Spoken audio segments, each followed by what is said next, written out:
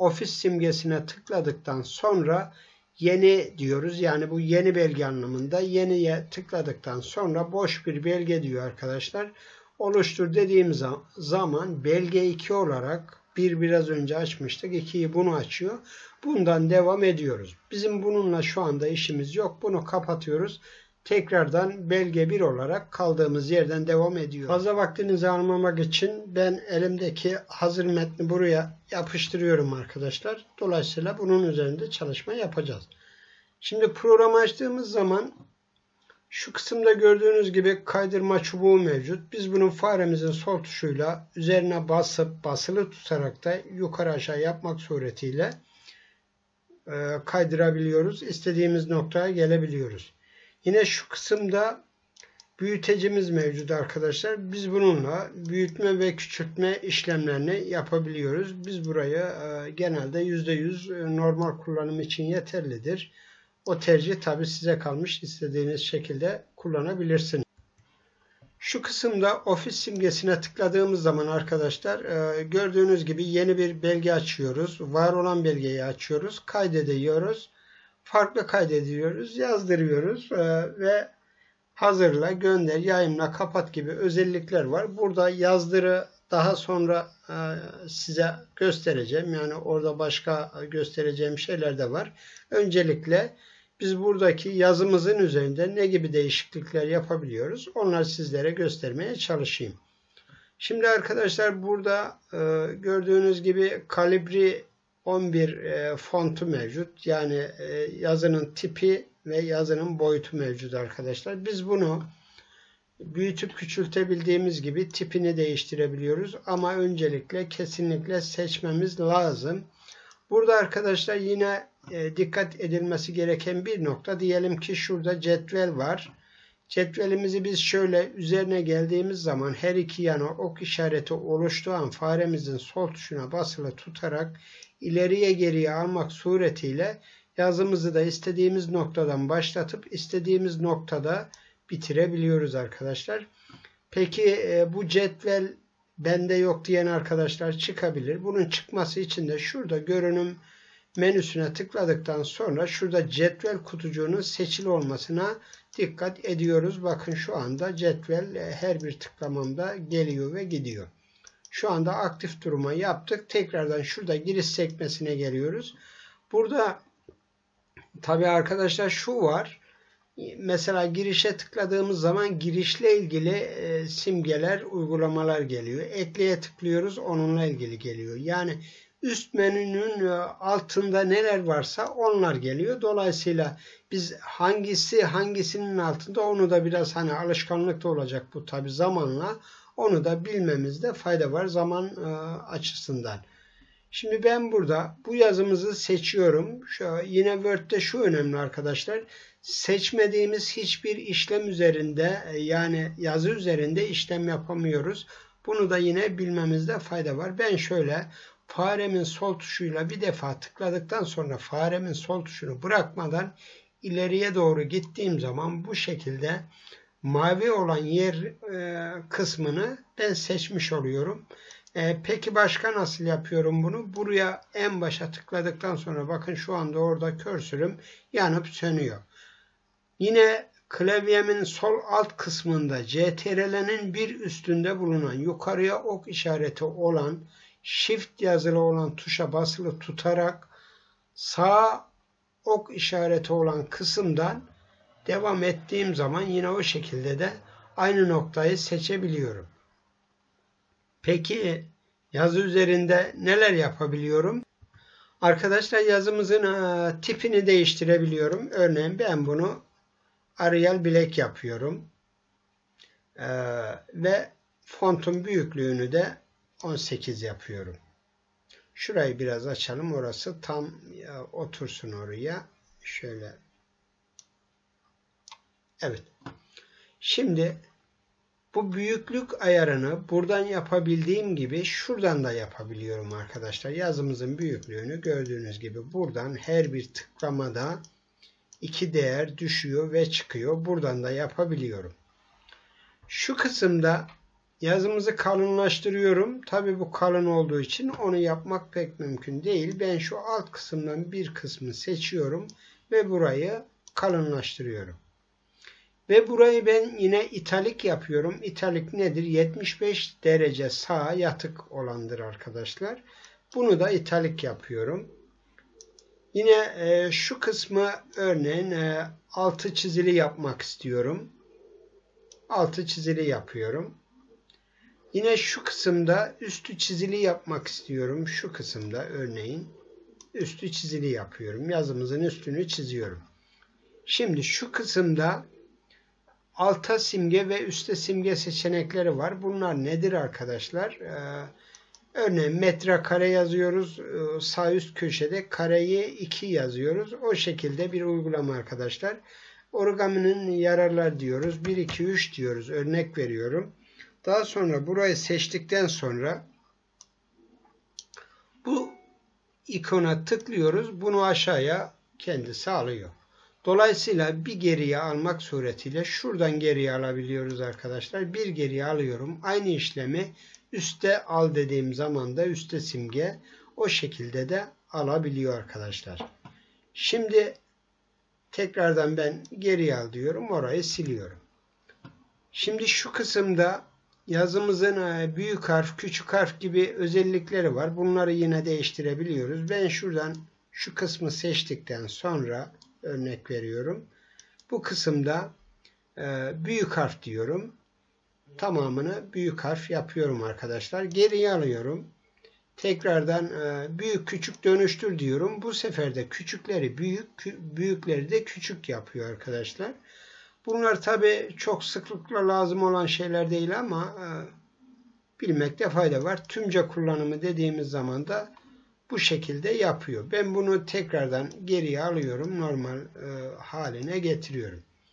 E, peki şimdi e, şurada ne işlem yapıyorum? Burada da arkadaşlar yazımıza herhangi bir vurgu yapmak istediğimizde hani burası belirli olsun gözüksün dediğimizde ben buraya dolgu rengi verebiliyorum ve yazımın da rengini aynı zamanda değiştirebiliyorum. Şöyle AB yazılı olan kısımda metin vurgu rengini ben buradan seçebiliyorum. Nedir? Sarı yapıyorum arkadaşlar. Buradaki yazımı yine seçtikten sonra biraz önce söylediğim gibi seçmeden hiçbir işlem yapmıyoruz arkadaşlar. Yapamayız zaten. Yine şu kısımdan yazı tipi rengi diyor arkadaşlar. Burada kırmızı diyorum. Peki başka ne yapabilirim? Ben buradan yine tıkladıktan sonra buradaki renklerden istediğimi alabildiğim gibi şuradan tüm renklere tıklamak suretiyle istediğim herhangi bir noktaya faremin sol tuşuyla tıkladığım zaman orayı seçebiliyorum. Burada örneğin şöyle seçtim. Seçtiğim an şurada kutucukta bir şey gözüküyor. Yani şu anda diyor senin geçerli rengin bu Yeni bunu istiyorsun, istiyor musun diyor. Yani bir anlamda öyle soruyor. Ben de istiyorum dediğim an onu tamam diyorum. O hale getiriyorum arkadaşlar. Gördüğünüz gibi yazılarımızın rengi, şekli, e, tipi değişti. Peki ben burada yine tamamını seçiyorum. Böyle faremle seçebildiğim gibi tamamı dediğimizde Ctrl A tuşuna da yine bastığım zaman tamamını seçebiliyorum. Ben buradaki yaptığım işlemleri şurada gördüğünüz gibi silgiye benzer bir şey var. Biçimlendirmeyi temizle. Yani bu şu anlama geliyor. Burada yaptığım bütün değerleri iptal et. Değişiklikleri sil. Anlamı o. Ben buna tıkladığım zaman arkadaşlar en başa dönüyoruz. Dolguyu silmedi. Orayı seçmediğimiz için mi yapmadı diyeceğim. Dolgu demek ki silmiyor. Onu da renk yok diyerek şuradan bilebiliyoruz Şurada gördüğünüz gibi arkadaşlar yazı tipi diye bir seçeneğimiz var. Biz burada aşağıya tıkladığımız zaman burada bir pencere açılıyor. Öncelikle yazımızı seçiyoruz. Daha sonra buraya tıklıyoruz. Biz buradaki yazımızın, buradaki yazı aynı zamanda buraya geçiyor arkadaşlar. Buradaki yazımızın yazı tipini şöyle bakıyorum Arial diyebiliriz. Arial Black diyelim. Yazı tipini seçtiğimiz gibi italik yapabiliyoruz. E, ebatlarını büyütebiliriz. Şöyle biraz büyük olsun. Ve e, kabarık diyebiliriz bu şekilde. Tamam dediğimiz zaman arkadaşlar buradaki yazının e, kabarık bir şekilde yazıldığını da görüyorsunuz. Yine ben bunu geriye alıyorum. Tekrardan aynı yere tıklamak suretiyle burada başka neler yapabiliriz? İşte yazımıza gölge verebiliriz. Siz şurada değişimleri zaten görüyorsunuz. Ben burada tıkladığım zaman ana hat olarak e, yazabiliyoruz. Kabarık biraz önce yapmıştık. Baskı şeklinde oluyor. Büyük küçük diyor. E, o şekilde değiştirebiliyoruz. Tümü büyük olsun diyoruz. Gizli diyoruz. O çok da lüzumlu değil. Üstü çizili, altı çizili gibi seçeneklerimiz var arkadaşlar. Biz burada mesela kabarık seçip bunu da varsayılan yap dediğimiz zaman arkadaşlar gelen ekrana evet diyoruz ve tamamını varsayılan olarak oradaki seçtiğimiz yazı ayarlarına getiriyor. Tekrardan ben bunu geri alıyorum. Yine e, aynı kısmı ben e, seçiyorum şöyle. Yazı tipi diyorum. Burada e, karakter aralığı mevcut arkadaşlar. Bu ne işe yarıyor? Karakter aralığı, ölçeğin aralığın şöyle biraz daha kenara alayım daha net gözüksün. Ölçek nedir arkadaşlar? 150 diyoruz. Buradan e, aralık normal demiş. Biz geniş diyelim. İşte konum normal demiş. Yükseltilmiş. Yani yazıyı bulunduğu noktadan biraz yukarıya alıyor arkadaşlar. Bunu yine biz şuradan ayarlarıyla oynayarak da yapabiliyoruz. Biraz sonra göreceksiniz. E, tamam dediğim zaman gördüğünüz gibi yazıların arasına açtı, yükseltti. O değişimleri gerçekleştirdi. E peki arkadaşlar bizim e, diyelim ki burada işlemlerimiz bitti. Biz bunun çıktısını alacağız. Ne yapmamız lazım? Yine şuradaki ofis simgesine tıkladıktan sonra yazdır kısmına geliyoruz. Yazdıra geldiğimizde sağ bir pencere açılıyor. Burada yazdır e, kısmına tıkladığımız zaman yine yeni bir pencere açılıyor. Şurada dikkat etmemiz gereken yazıcımızın e, bilgisayarımıza bağlı olduğunu yani özellikle birkaç yazıcı varsa o yazıcının bağlı olduğunu bilmemiz lazım. Yine burada sayfanın tümünü yazdırabiliyoruz. Geçerli sayfa diyor. Bu sadece bizim kendi seçtiğimiz kısmı yazdırabiliyoruz. Yine sayfaları da 1, 3, 5, 7, 9 gibi böyle aralıklı vererek yazdırabiliyoruz. Şurada kopya sayısı hepimiz biliyoruz zaten. Kopya sayısını artırıp azaltabiliyoruz. Tamam dedikten sonra yazıcımızdan çıktıları almaya başlıyoruz. Yine aynı şekilde yazdıra geliyoruz arkadaşlar. Hızlı yazdır ne işe yarıyor? Hızlı yazdır hiçbir şey sormadan direkt yazmaya başlıyor arkadaşlar.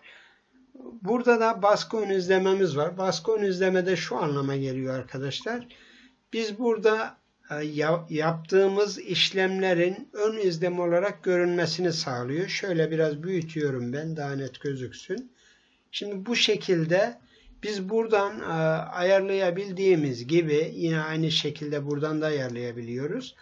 Ancak e, şuradan da kenar boşluklar demek suretiyle buradan işte özel şablonlar vermişler. Normal demiş, işte dar demiş. Bu kendisine göre ayarlıyor.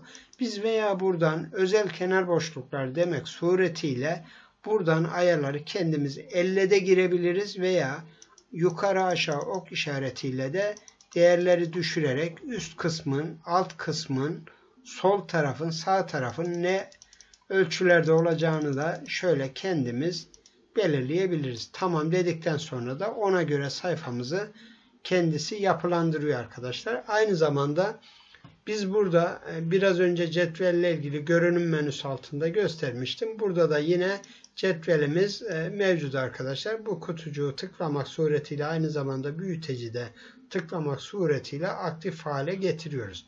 Burayı da şimdilik kapatıyoruz arkadaşlar. Microsoft Office Word 2007 programıyla ne gibi çalışmalar yapıyoruz anlatmaya çalıştım. Umarım faydalı olmuştur. Sizler de bana destek olmak için ve bundan sonraki gelecek videolarımdan haberdar olmak için ücretsiz olarak abone olup beğeni butonuna tıklarsanız çok memnun olurum. Hepinize iyi günler.